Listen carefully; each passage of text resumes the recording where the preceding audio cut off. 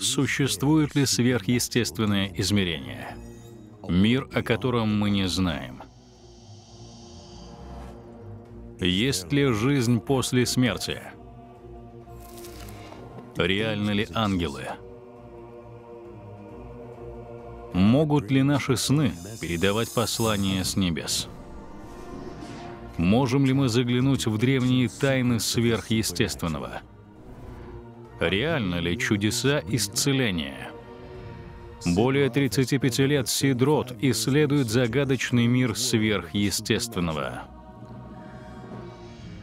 Присоединяйтесь к нему в этом выпуске программы «Это сверхъестественное». Здравствуйте, с вами я, Сидрот. Добро пожаловать в мой мир, где все сверхъестественное, естественно, у каждого из нас бывали моменты, когда мы молились, и казалось, что наши молитвы не поднимаются выше потолка комнаты. Я молюсь, взываю к Богу, стенаю, делаю все, что могу, но мои молитвы все равно не доходят до небес. У моего друга есть откровение от Бога.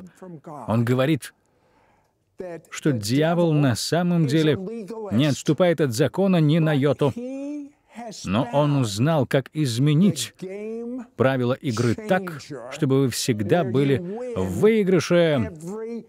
Я хочу, чтобы он научил вас этому откровению.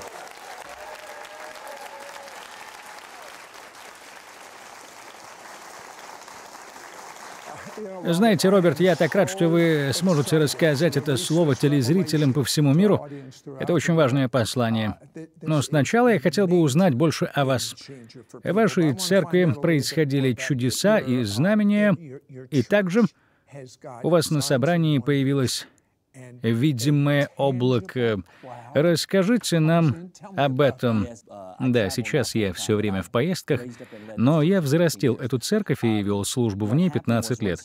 Одним воскресным утром я проповедовал перед собранием в полторы тысячи человек и вдруг понял, что не вижу больше заднюю стену зала, потому что она закрыта дымом. Я не мог видеть этот дым. Я подумал, это как февраль в Техасе, когда кто-то забыл затворить дверь в помещение. А снаружи люди жгут листья, поэтому дым проникает внутрь. Вот так я и подумал, потому что этот дым был большой неожиданностью. Но затем я заметил, что не чувствую запаха дыма. Тогда-то я понял, что это слава Божия. Она наполнила зал, и с этого момента она всегда являлась как дым как облако, которое реально покрывает себя. Иногда ее можно было ощутить, как прикосновение тумана к коже. И когда мы были в присутствии Божьем, происходили просто потрясающие вещи. Исцеления были повсюду. А теперь, Роберт, расскажите нам о законном способе получить ответ на молитву. В духовном мире все происходит в соответствии с определенными законами. В частности, когда Иисус умер на кресте, это стало величайшей сделкой в истории. Он сказал, совершилось, и выполнил все существующие правовые предписания. Поэтому и мы можем инициировать процесс выполнения правовых предписаний. Постановление суда не имеет силы, пока не будет исполнено в реальной ситуации. Судья может вынести приговор, но его невозможно привести в исполнение, если в зале нет судебных служащих, которые его выполнят. Мы — эти служащие, помазанные, поставленные Святым Духом, для того, чтобы осуществлять выполнение предписания, которое совершилось на кресте в каждой реальной ситуации на этой земле. А вы говорите о большой нашей ошибке, когда мы сражаемся на поле битвы. Да, именно о ней, а не о небесном суде. Вы считаете, что это место как настоящий суд? Именно так. У Даниила описан престол Господа. Еще в Откровении мы читаем описание Иоанна, а еще у Иезекииля, Исаия, и все это Библия называет судом судьи сели и раскрылись книги. В этих книгах записаны судьбы людей и даже народов. Для того, чтобы написанное исполнилось в реальной жизни, нужно, чтобы в суде шел судебный процесс. Для каждого человека на этой планете есть своя книга на небесах. Так написано в 138-м псалме. Мы должны научиться приходить на Божий суд, чтобы узнать, как одолеть все законы, которые враг может использовать против нас, уводя нас от нашей судьбы в Боге. Речь идет о дьяволе, который готов пойти на любые уловки. Да, если с точки зрения закона он окажется прав, то это может буквально блокировать ваши молитвы. Да, украсть ваше исцеление, финансовое обеспечение, ваш душевный мир. Да, а также препятствовать вашей семье войти в царство, а это уже серьезно. Да, именно так. Иисус говорил о молитве в трех измерениях. В Евангелии от Луки 11 и 18 главе он говорил о том, как приближаться к Богу, как к Отцу, как другу, а также как к судье. Это и есть измерение суда. Мы знаем, как приходить к Богу как к Отцу и как к другу, но очень слабо представляем, как быть, когда предстаем перед Ним в рамках небесной юридической системы. Потому что когда Иисус говорил о неправедном судье, он явно не имел в виду Бога. Он говорил, что если вдова может получить решение в свою пользу от неправедного судьи, то насколько же больше мы можем получить именно от Бога? Вы говорите, мы обращаемся в небесный суд. Это не образ какой-то, а настоящее, реальное место. Да, Библия говорит, что мы посажены на небесах. И также в послании к евреям написано «Вы приступили к горе Сиону» городу живого Бога. Также там написано о судье, о посреднике Нового Завета крови и о праведниках, достигших совершенства. Все эти голоса можно услышать в небесном суде, они провозглашают слово о том завете, в который мы вошли. Поэтому Библия говорит, что мы посажены вместе с Ним, и также описывает, что это означает для нас. Исходя из такого нашего положения, мы имеем большую власть подавать ходатайство в суд, в котором по небесным законам будут решаться наши дела. Бог-судья исполнит свои приговоры здесь, на земле, и когда я прихожу в небесный суд, становятся верными слова — все обнажено и открыто пред очами Его, Ему дадим отчет. Дело в том, что в духовном мире нет места притворству. Там известно все и про каждого. Демоны знали, у кого есть власть, а у кого ее нет. Нам нужно входить в сферу святости с покаянием и с полным пониманием того, что Божья благодать не дает нам права грешить. Мы можем стать выше греха, занять праведную позицию в небесном суде и увидеть, как как совершается Божья воля уже здесь, на этой земле.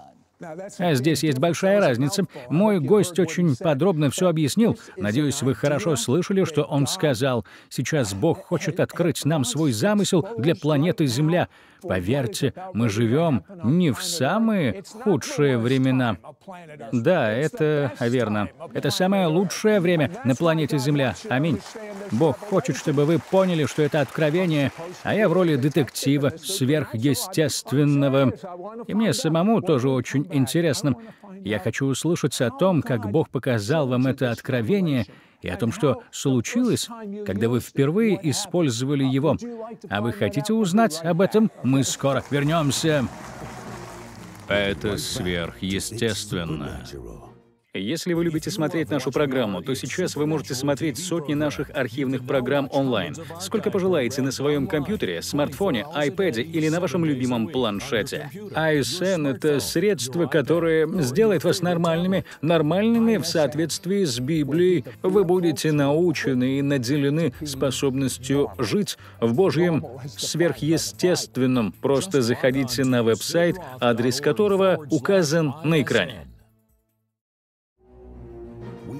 Это сверх, естественно.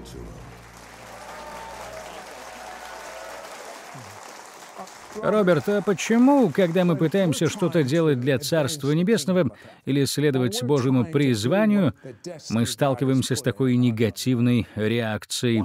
Скажите нам, что провоцирует ее? Есть две вещи, которые провоцируют эту ответную реакцию, потому что в духовной сфере все подчинено законам. Дьявол не может просто делать то, что он хочет. В первом послании Петра написано «Противник ваш дьявол ходит, как рыкающий лев, ища кого поглотить». Он не может действовать по собственному желанию. Противник — это греческое слово «антидикос», которое означает «обвинителя в суде». Это его значение. Это слово состоит из двух слов «анти» и «дикос». «Анти» значит «против», ну а «дикос» — это «правда». Цель иска заключается в том, чтобы лишить нас того, что по праву принадлежит нам. Люди удивляются, почему они не получают то, что говорит Библия, все то, что Иисус купил для нас. А это происходит из-за того, что дьявол подал иск против нас в судебный суд. Это ошибка — рваться в бой вместо того, чтобы сначала пойти в зал суда и уладить все правовые вопросы. Если мы их не уладим, то противник может использовать их, чтобы помешать нам. Но он не имеет законного права на это. Давайте поговорим о том, как вы в первый раз вошли в небесный суд.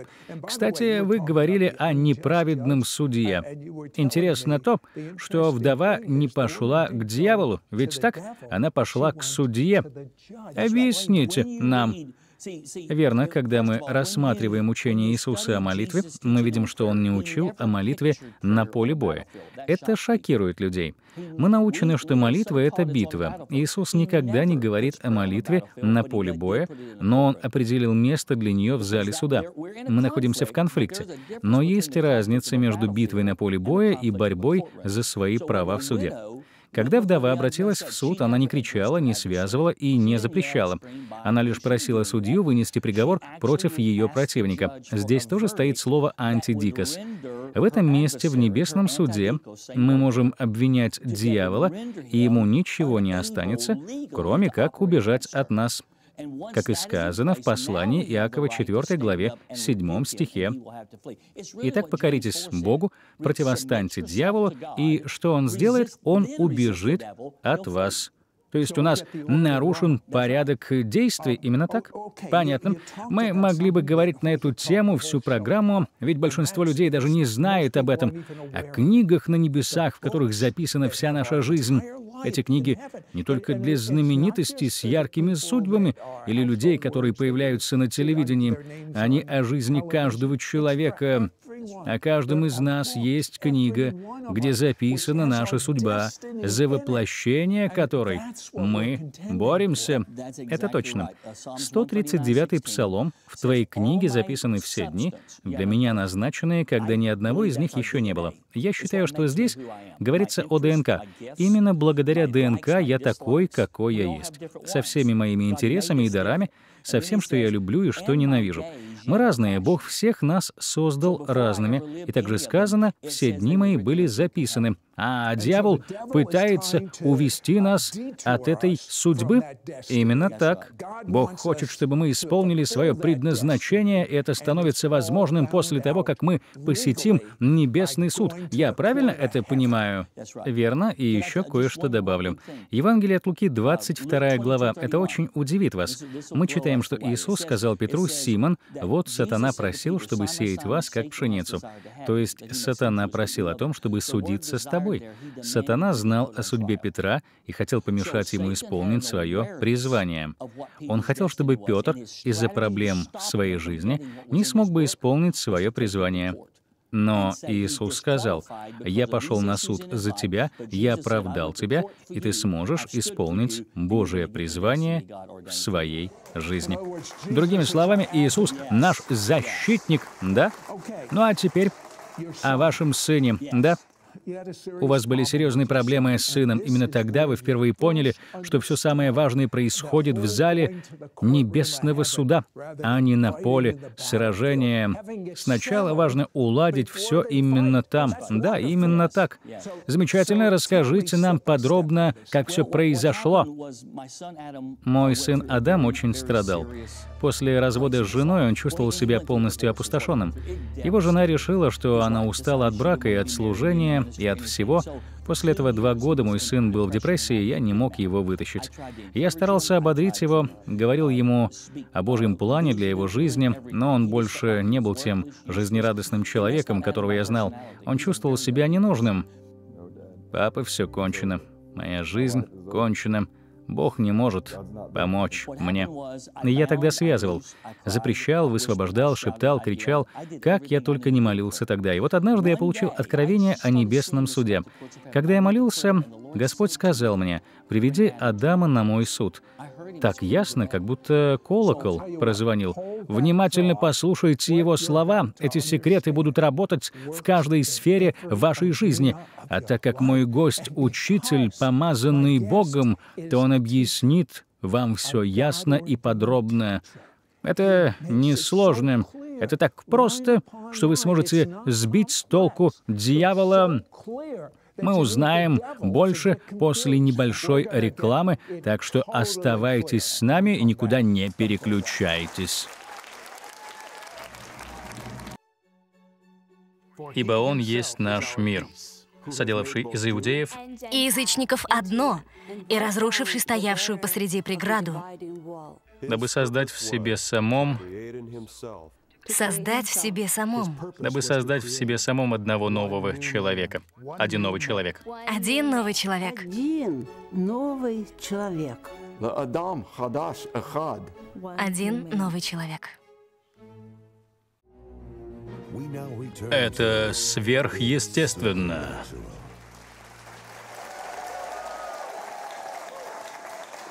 Вам, как отцу, должно быть, было больно видеть своего сына в такой глубокой депрессии. Вы испробовали все, но ничего не помогало. Пока однажды вы не услышали слово с небес. Какое слово? Я мог лишь смотреть, как мой сын отказывается от своего призвания из-за отчаяния и чувства, что он уже все потерял. Но Господь сказал, приведи его на мой суд. Понемногу я стал больше понимать, как мне действовать.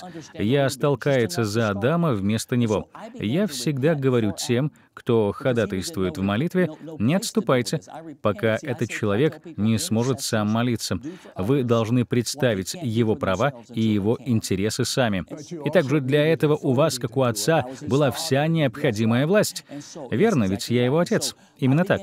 Тогда я стал за него и за все ошибки, которые он совершил как отец и как муж. Я покаялся за то, что Адам верит в ложь врага, также за все, что я чувствовал, понимал или не понимал, за все свои иллюзии.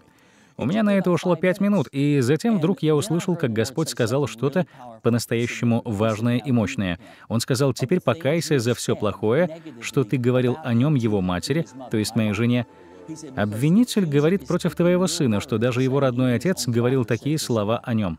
Я никогда ничего такого не говорил Адаму, но я плохо говорил о нем его матери. Я не понимаю, почему он так ведет себя. Я не понимаю, почему он не может взять себя в руки, освободиться от всего этого. Я говорил о нем плохо. Именно это связывало его. Да, это связывало. Обвинитель использовал мои слова, слова отца против Адама. Обвинитель мог сказать, вот свидетельство его собственного отца о нем. Я каялся со слезами на глазах. Это заняло всего пять минут, и сразу Господь сказал мне, «Я хочу, чтобы ты произнес пророчество о его судьбе, судьбе Адама». Тогда я сказал, «Господь, я провозглашаю это по Твоему слову». Как прекрасны на горах ноги благовестника. Адам будет проповедовать Евангелие Иисуса Христа. Он будет поставлен на высотах. И затем неожиданно Дух Божий сказал, «Теперь свяжи дух депрессии». Я не осознавал тогда, что на самом деле я в тот момент решал вопросы с законом. Это было важно для того, чтобы с праведной и легальной позиции атаковать дьявола. Я сказал, «Сатана, я связываю тебя». Я до сих пор помню этот момент. По слову, в послании в Ефесянам я провозглашаю «Встань, спящий, и воскресни из мертвых, и осветит тебя Христос». Я связываю тебя, дух депрессии, и приказываю тебе выйти из моего сына во имя Иисуса. На это ушло около 15 минут, после двух лет молитв. Я сразу почувствовал, как что-то изменилось, а спустя полторы недели зазвонил телефон. Это был Адам. Он сказал, «Я не знаю, как это произошло, но полторы недели назад внезапно депрессия моя пропала». Ух ты, разве это не здорово? И теперь я готов исполнить Божью волю. Сейчас Адам является старшим пастором своей церкви. За последние 9 месяцев его община выросла почти в три раза.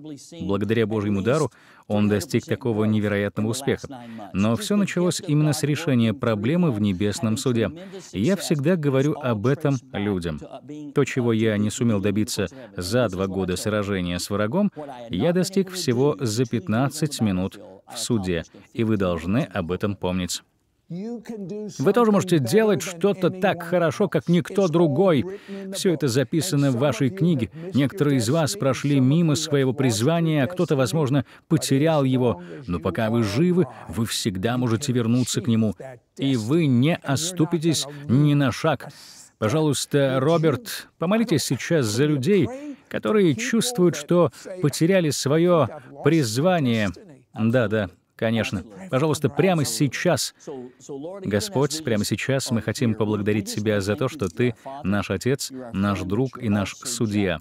Мы хотим приходить в Твой небесный суд по вере и просим Тебя, Господь, верши свой суд. Ты каждого человека сотворил с уникальной судьбой, которая записана в Его книгу. Я прошу Тебя, Господь, чтобы всякие обвинения, которые враг использует против кого-либо или даже против целой семьи, были сняты. А сейчас, пожалуйста, повторяйте эти слова за мной. Скажите, Господь, во имя Иисуса я раскаиваюсь за каждый грех, нарушение закона или несправедливость. Я стою на слове из Колосинам 2 главы, там сказано все, что против меня, любое обвинение, любые преграды передо мной, ты убрал с пути и пригвоздил ко кресту. Господь, все обвинения сняты. Благодаря крови Иисуса. Господь, я даю Тебе, как судье, законное право выносить приговор о моем призвании, которое записано в книге обо мне. Во имя Иисуса. Аминь. Я хочу сказать вам кое-что. Вы, возможно, уже долгое время огорчены тем, что на ваши молитвы нет ответа. Вы переживали и постоянно думали о том, что же блокирует их. Эта блокада сейчас будет снята. Вы стоите на пороге своего предназначения. Это прекрасное время. Мы стоим на пороге мощнейшего движения Божьего Духа. Бог создал вас для того, чтобы быть Его частью. Он хочет, чтобы вы были свободными, цельными, принадлежащими только Ему. Поэтому скажите, Иисус, я раскаиваюсь в своих грехах, будь моим Господом. Если вы любите смотреть нашу программу, то сейчас вы можете смотреть сотни наших архивных программ онлайн, сколько пожелаете на своем компьютере, смартфоне, iPad или на вашем любимом планшете. Эти программы станут инструментом, который поможет вам стать нормальными, но нормальными в библейском понимании этого слова. Так что присоединяйтесь к нам на нашем сайте. Там вы сможете посмотреть специальные трансляции служения и наставничества, передаваемые из нашего медиацентра, находящегося в городе Шарлотт, штат Северная Каролина, в которых участвуют лучшие учителя с самыми разнообразными дарами Святого Духа. АСН — это средство, которое сделает вас нормальными, нормальными в соответствии с Библией. Вы будете научены и наделены способностью жить в Божьем сверхъестественном, так, как никогда ранее. Просто заходите на веб-сайт, адрес которого указан на экране. Смотрите в следующем выпуске.